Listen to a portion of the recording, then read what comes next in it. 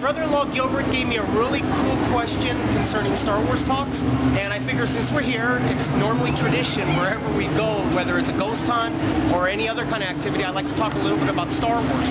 Um, the question was, appropriately, you know, during Halloween time, what is generally the most popular costume um, around? And, and when he asked me that question, well, Gilbert, what exactly, what type of question was it?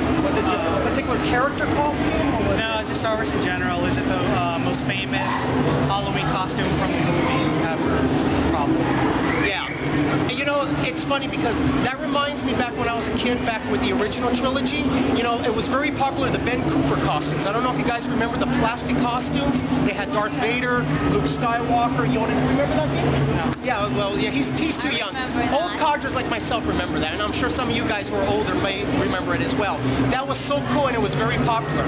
So nowadays, I think that's really popular, and of course, you know, the main characters like Darth Vader will always be a popular choice. Guys, keep watching. We're going to have some really good videos, and, um, and hopefully you guys will uh, enjoy this stuff. Take care. Bye.